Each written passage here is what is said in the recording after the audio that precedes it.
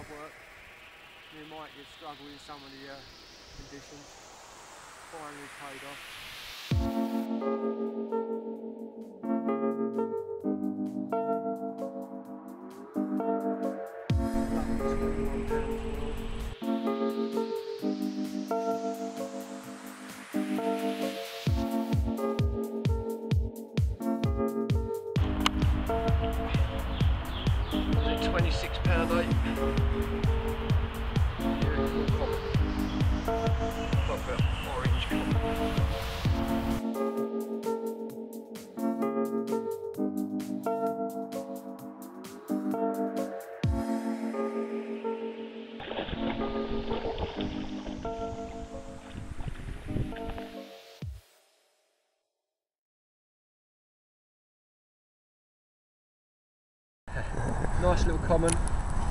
This one's on the uh, bar rig, choddy rig.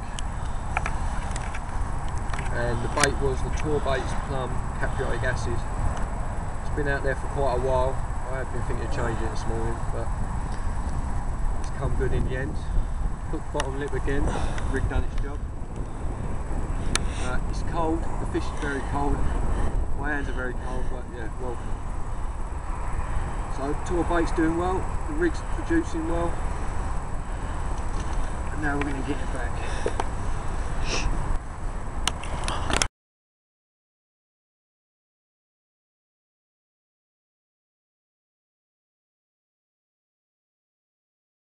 Get a bit closer, you're not going to Well, my hands don't drop off. oh, it's like minus 10 this morning, it's proper cold.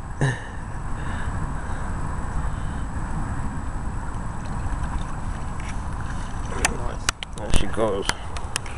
Sunday morning, 3rd of February 2013, Crusader review. Cold, really cold last night.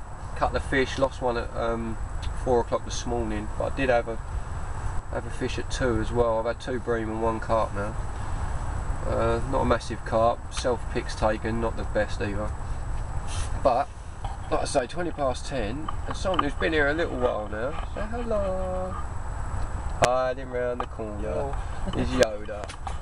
Mr. 33 is here. And we're just looking over a few bits, just changing a few bits.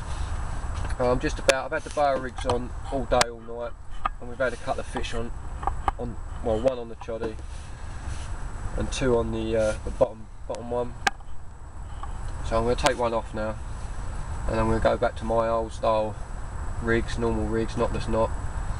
I'm going to do uh, a bottom bait with I think the Tor Baits Crab Halo pop-up. Now I've tested one of them in the water and they do leak really well. They look really quite quite good. So Tor Baits Halo Crab. I think you can see what's going on there. Just about. Try to get away from the reflection, but you can see the liquid just oozing off. They're good, they're pretty damn good.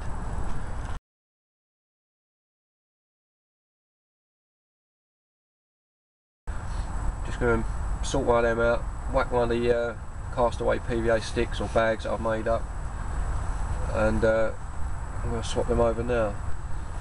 Yoda is just making up a rig, he's going to uh, try out one of the uh, Tor Baits pineapple pop-ups. Uh, he's messing with all that now. But before I do that, before we cast this rod back out again, and I'm putting on another rig, just want to show you hook sharpening. Most important part of your rig. Blunt hook's not going to catch nothing. Now this hook, this rig I've got here uh, was uh, an old one say an old one, but one that was on the rods that first went in yesterday. Uh, so I'm reverting back to this rig, just a normal blowback style. But I'm just going to give this hook a little sharpening quick. Now there is a video that goes with this, and as I've already said, Fudgy, I'm afraid I ain't watched it because I ain't had time, and you know. So there's a little groove in there. I like to run the edge of the hook in there. Just slides up and down nice, just to keep that curve on it as well. And you can already see, I mean, you're not going to be able to see it too well on there, but it's already sort of the, the, the paint or the uh, what's, what's that? That Teflon, isn't it? The, the coating is already sort of coming off, and you can see you can see it getting sharper as I do it. I mean, you're not going to be able to see it because I ain't got it on macro mode on the camera, but so yeah, and that is solid now. I ain't going. Ah. Yeah, so that's sharp enough now, and that was only a few little scrapes. Um, it wasn't the bluntest hook, to be fair. It, it weren't too bad, but it is now absolutely pin sharp and it's a lovely little tool this so for the money you need to have one of these they pack away nice that is something will always have in my box at all times so yeah and yeah see just caught myself on it and blinking bleeding right so yeah it's going to be I'm going to go to, uh, I'm going to put the Galaxy baits on this one, bottom bait. Uh, I've caught on on them and we've caught on the JWs as well. But I'm going to put the Galaxy bottom bait on with the Tor Baits crab pop up on top, the Halo one. I'm going to see how we go with that. Like I say, a little castaway stick, PVA stick or, or the bag. It'll probably be the stick actually, I'll just took that on. In fact I use it and pull it all the way through my, pull my rig through it like I normally do. So we're going to do that and hopefully have some more fish. And Yoda might have a fish, which would be nice. Say yes, Yoda. Hopefully.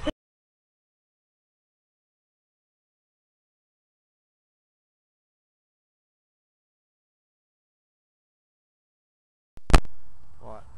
And we've got a little uh, stick made up. I was going to say Andy, Andy's been making up a rig, but we're just going to test out the Castaway PVA, one of the little sticks that I made. Andy's got there. It's like like me and Andy said, it's quite. It feels like cotton, doesn't it? It feels Mm. really fluffy and and to me, it gives me the impression that in the summer it would it would just break down really really quick. But of course, it's absolutely freezing here, and that water is minus God knows what. But it's breaking down nice and even.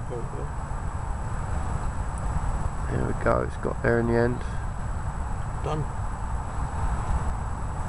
That wasn't that long. What's it say on the video? Uh, three minutes. Done. Right, it's two o'clock Sunday still, and it's been dead quiet. No movement, no fish moving. We've tried a couple of different bits. Tried moving the baits about. Uh, we've tried the Tor baits pop ups on their own. Um, we've tried. I've gone back to my normal rigs, taking the boa rigs off, and we're trying normal snowman sort of style. So I've got uh, the JW baits on with uh, uh, Tor baits pop up one of the little ones, the little pineapple ones. And I've also on the other rod I've got the Galaxy baits with another Tor baits pop up with the uh, that's with the Halo crab. Yoda's changing his over, he's gonna chuck a choddy out. Speaking of the net. Hello. Yo. So more little movements going on, changing a few bits over, only about another hour left. And we're gonna pack up. It's not been the greatest of uh, sessions really, it's hard work, it's really cold and the fish are just not biting. A few little uh, bits I want to talk about. The Castaways PVA is really good stuff, feels really fluffy. I've done a little test there to see how quick it uh, reacts as well in the, in the ice cold water. About a three minute breakdown, but it got there and it, I can imagine in the warmer water it's going to be a lot better. But um, so yeah, it was good the, uh, the hook sharpener quality won't go anywhere without it now I always use it the baits they've all been good all kinds of stuff going on we've tried all different kinds of uh, tactics different rigs different setups and now we're going for the last hour chucks which are going to be I think a couple of long ones uh, the naked choddy for for Yoda and I'm going to stick to my two bottom baits with snowmans. I'm going to put another stick and uh, bag on them. I'm going to fling them over the back. As for the uh, the boa rigs, pretty good rigs. They've nailed everything bottom lip every time. Um, slight worry I have with them is where they are kind of uh, sort of kinked up, shall we say, when that's on the bottom, when we've tested them uh, around the water's edge or, or in the little water tank here, it they sit a little bit popped up sometimes off the bottom. Now, because of what it's made of, I don't think it's too much of a problem because it looks like a twig or whatever. Um, but for me and for some others, I can see that maybe they won't like that too much, the way it sits. But otherwise, nailing fish quality, if you're fishing somewhere where they get rid of the lead, uh, they shake their heads really quickly to get rid of the bait, shall I say. That's that'll be one that'll counteract it definitely. Like the, the spring in it is, is, is good. But um, like I say, it's going to be some people are going to like that, some people are not going to like it.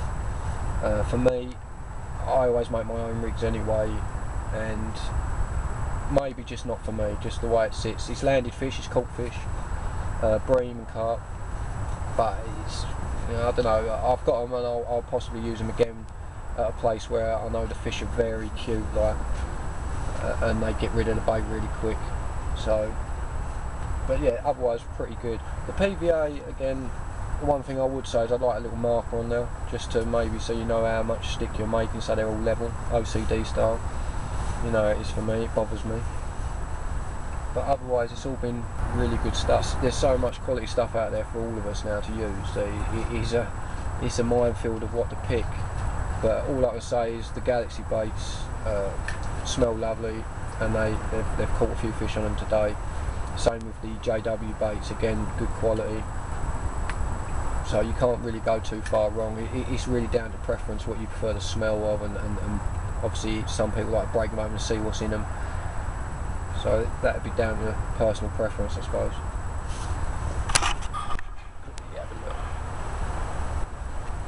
In the little water tank, and he's testing out his little choddy there. Make sure he's sitting right.